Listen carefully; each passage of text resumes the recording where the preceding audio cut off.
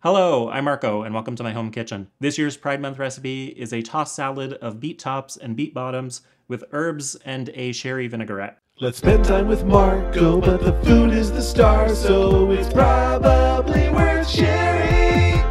It is the perfect recipe to take to barbecues with your conservative relatives all summer long. It's super easy, it's super tasty, it comes together in 10 minutes, and you can keep it in the fridge for a week. This is a super simple salad. You need one bunch of beets. These beets are pretty big. They've been going to the gym. They're getting their squats in. So I've only got three here, but you might need up to five. One bunch of parsley, mint, dill, because this is a very gay salad, you also want to add some nuts. I'm using roasted pistachios, but you could also use walnuts. First, I'm going to make the dressing. If you have a jar left over from jam, you can use it. It's going to be way easier to shake than uh, trying to stir it. The ratio for the salad dressing is pretty acidic. Uh, the beets are raw in the salad, so you really need that acid to come through. So start with one third of a cup of sherry vinegar. Add two tablespoons of olive oil, two tablespoons of Dijon mustard. You can actually use any kind of mustard. I've made this with granny mustard. It's good anyway. Add a teaspoon of salt. That's a couple big pinches. Some fresh black pepper. And a teaspoon of sugar. Throw the lid on and give this a shake.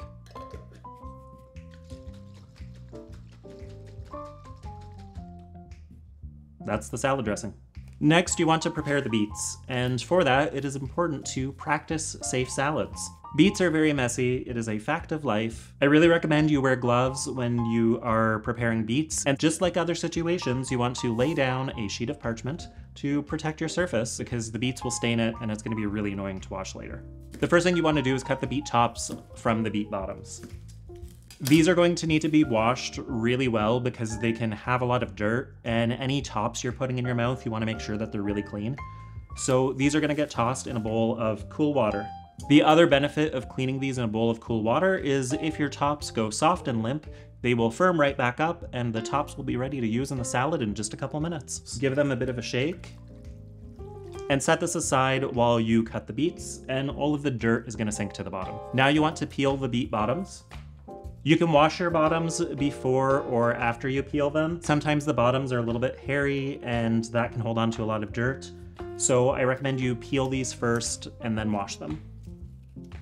I'm gonna take these over to the sink and give them a quick rinse, and this is gonna go in the compost. Still with your gloves on, you want to use the coarse side of a box grater and hold the beet so that the longest side is running against the grater so you get really long grated pieces of beets. I definitely recommend you wear an apron or a black shirt while you are doing this. That's all of the beets grated. The parchment is super handy here too because you can use it to move the beets into your serving bowl without making another mess.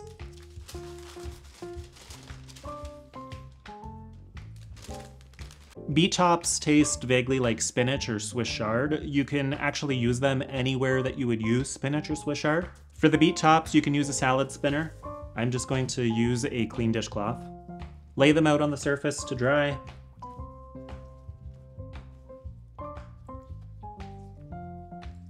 If any of your tops have lesions, that is a sign they should not go in your mouth, and this should go to the compost for medical treatment.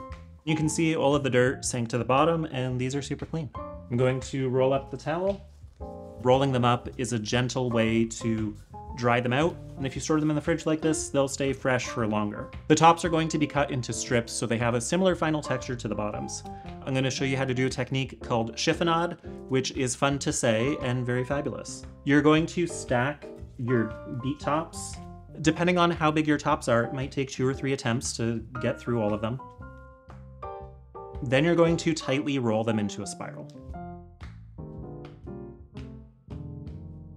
First cut the stems off. The stems will get added to the salad, but it's easier to chop this way. Now from this tight spiral, you want to cut this into 1 8 to a quarter inch strips. Pick a thickness similar to the grated beet bottoms. That's so quick and they look so nice. These get added to the bowl as well. For the stems, you want to chop them finely. And add those to the bowl as well. Now I'm going to finish cutting the remaining tops.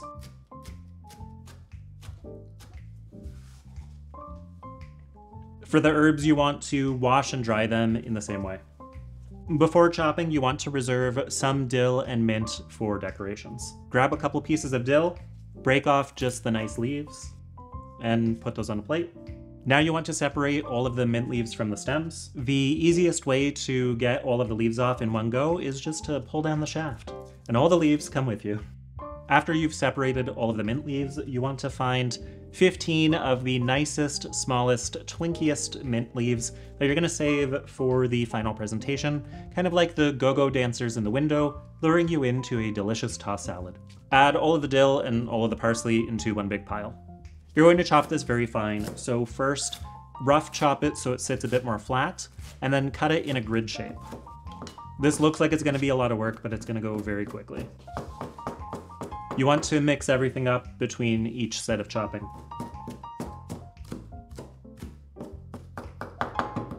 You want this fine texture so it blends nicely into the salad. It really only takes a minute if you chop it in this grid method. Throw all the chopped herbs into the salad bowl.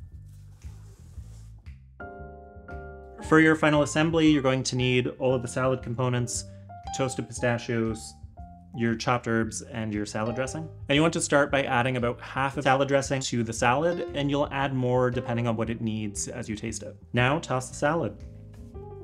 Give this a quick taste and see how you want to adjust the flavors.